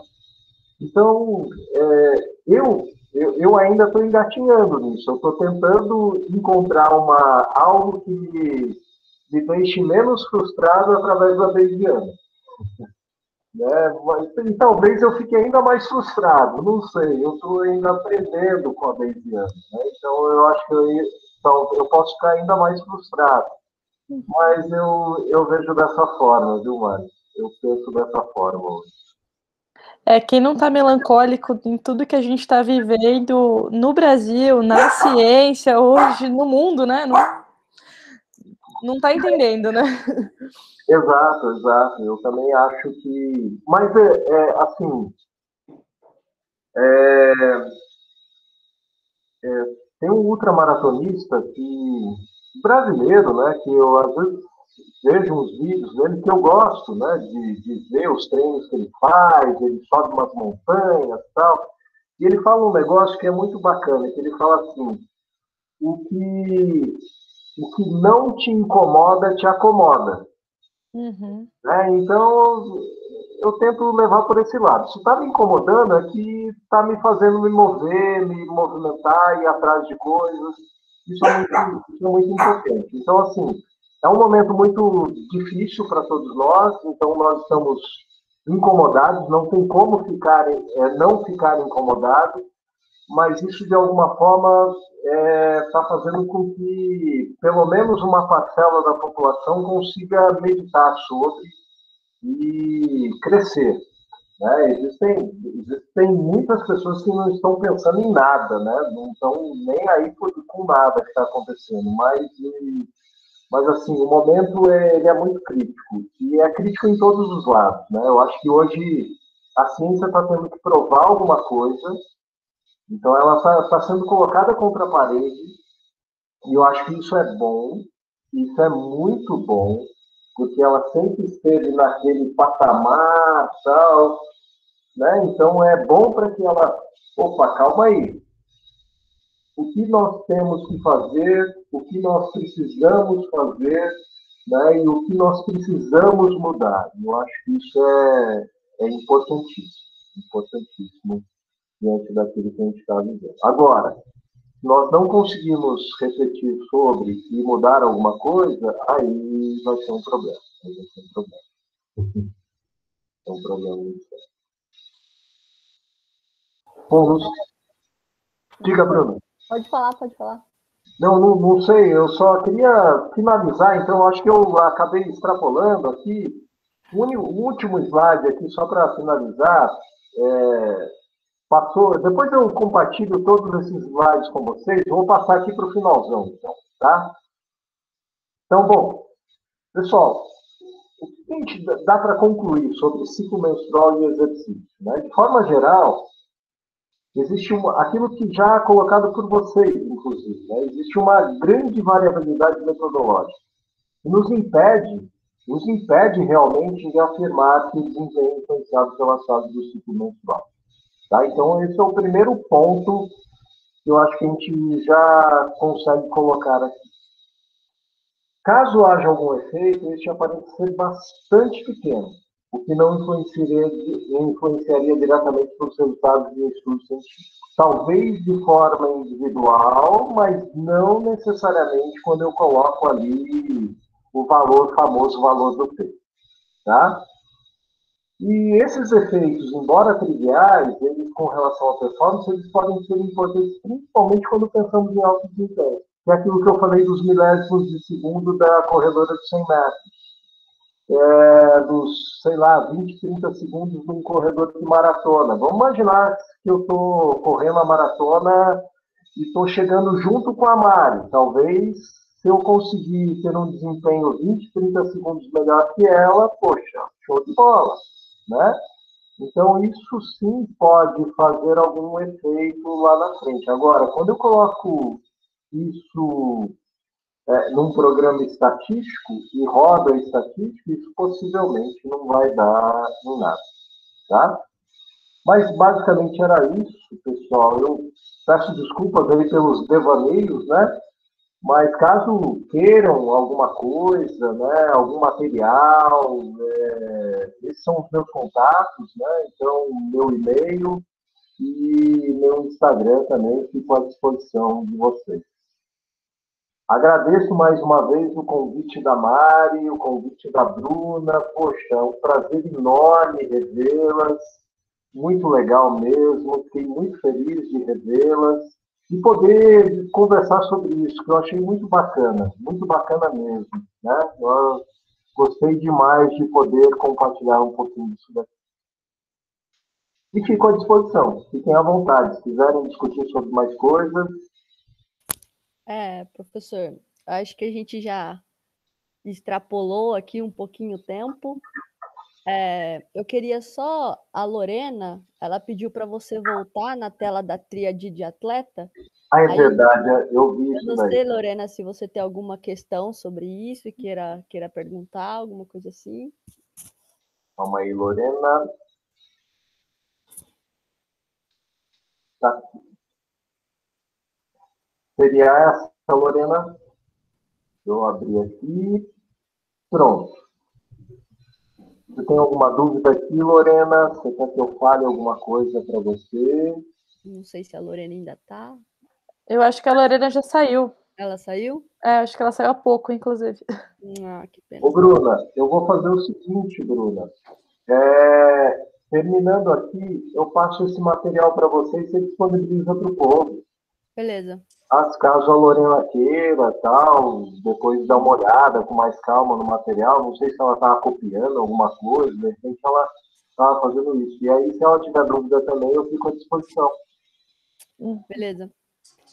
É, não sei, professora Mari, quer falar alguma coisa? Só agradecer muito, Wonder. É, é sempre um prazer enorme te ouvir. É, a gente estava com saudades de te ouvir e foi muito, um prazer muito legal ter a oportunidade de é, conversar com você, trazer os alunos da UFES para te conhecerem, as alunas da Grupa também, que estão apaixonadas por você. Já querem que você venha, a próxima viagem, você e a Sil venham para o Espírito Santo visitar a gente. Oh, que maravilha, hein? Vamos sim, vamos sim. Poxa, eu que agradeço, gente. Para mim é, foi um prazer enorme. Quando a Bruna. Eu peço até desculpas para a Bruna, porque assim, ela me convidou e eu tô, é, eu tô com um monte de coisa para fazer, né? Essa coisa de. A gente nunca. A gente sempre vai abraçando as coisas e fica, nossa, sempre no gargalo, né? E aí a Bruna falou, Wander, tá, seria como ser agora em julho? Eu falei, nossa, Bruna, não vai dar, tem que ser em agosto. Só que daí quando nós marcamos em agosto, né, eu vi que eu tinha um compromisso justo na data. Eu falei, não, vai ter que ser em julho. Bruna, vamos fazer em julho, não sei o quê. E aí foi aquela coisa, vai e volta, e eu peço desculpas, viu, Bruna, mas deu certo. E que bom que deu certo. Hoje até dei um susto nela, falei assim, hoje, Bruna? Nossa, mas, mas era só para assustá-la mesmo. Eu que agradeço, é um prazer enorme é, poder trazer essas, essas, essas, questões com vocês. Né? Eu acho que a gente tem muito que avançar ainda, principalmente com relação ao estudo. Quando, a gente, quando eu penso na minha área, que é a área de ciências biológicas voltadas para fisiologia e tal, a gente tem muito que avançar ainda no estudo de mulheres. Né? A gente não sabe nada ainda sobre o ciclo menstrual. Não sabe nada, nada, nada, nada. E se a gente pensar que a gente já sabe muita coisa sobre várias coisas, né?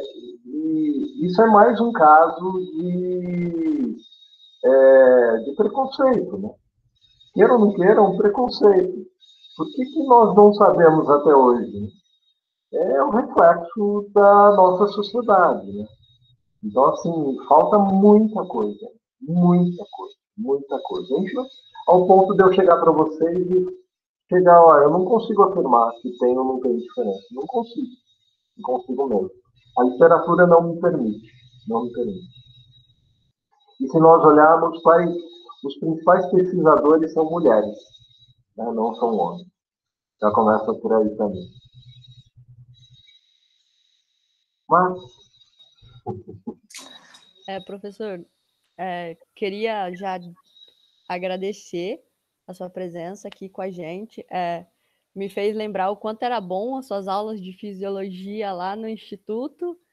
É, e se eu tinha alguma dúvida de por que convidar o Wonder, agora eu já, já lembrei o porquê de convidar o Wonder. É, suas aulas são sempre muito, muito bem explicativas.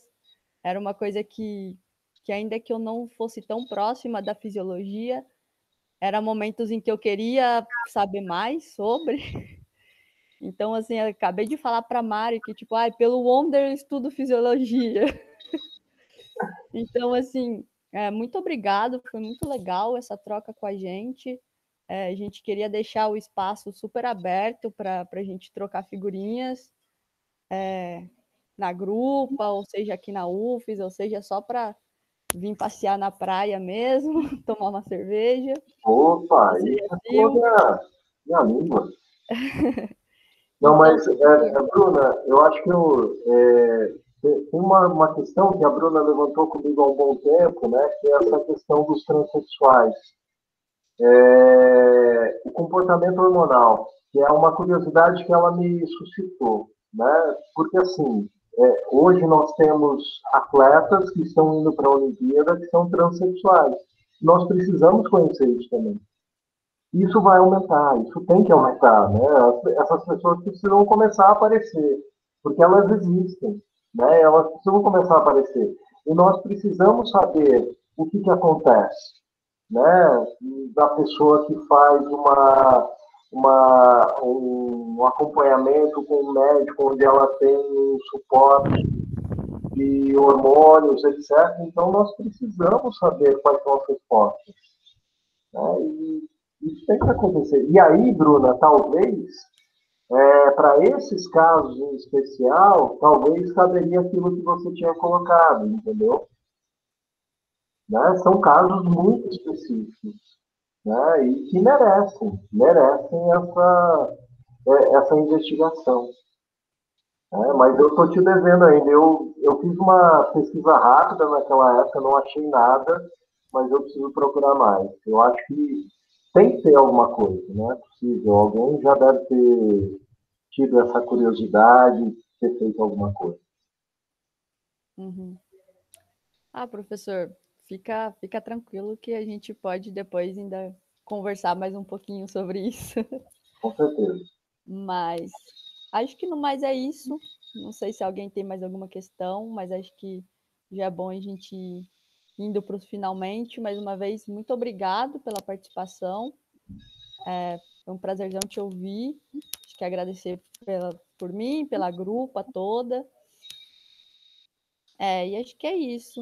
Espero que a gente possa continuar conversando.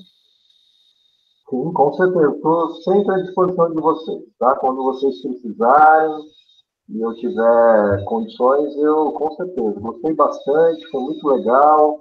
Gostei da, das perguntas, das discussões, das reflexões, elas são muito importantes. E eu acho que é assim que a gente faz o pensamento é, crescer, né? Porque não é apenas eu chegar aqui, colocar algo e acabou, né? E eu acho que a discussão foi muito mais importante do que as telas que eu trouxe. E isso me deixa muito feliz. Muito feliz mesmo. Porque isso é, essa é a essência de qualquer aula, de qualquer apresentação. Então é isso, né, gente? Obrigado, Onder. Foi sensacional. E a gente vai ficando por aqui, né, Bruna? Isso. Acho que encerramos mais, mais esse ciclo. É avisar para quem ficou que em breve a gente divulga o, os próximos dois ciclos de, de live. Então a gente manda por e-mail para a galera que já se inscreveu para esses e vai divulgando também pelo Instagram da grupa. E quem tiver interesse, é, acessa lá o Instagram Grupa GGE. E pro, provavelmente na, nas próximas semanas a gente vai falar um pouquinho sobre futebol. E no mais, acho que é isso, gente. Muito boa noite a todos e todas. E muito obrigado pela presença de todo mundo também. Valeu, gente. É isso, boa noite. Valeu, Obrigado, gente. gente. Mari, Bruna, foi um prazer revê-las, viu? Tudo de bom. Um beijo grande para vocês. Manda um beijo para Silvia, para Silvana também. Tá. Manda um abração para o Vitor, fala para ele que eu estou acompanhando os treinos de vocês dois, que vocês estão voando baixo, meu. Nossa, estou adorando dizer. Isso aí. É. Um beijo. fala para ele parar de ficar fazendo vontade na gente, colocar aquelas cervejas diferentes no Instagram. Dá vontade de beber todo dia, né? É. Beijo, gente. Beijo, gente. Tchau, tchau, gente. Tchau.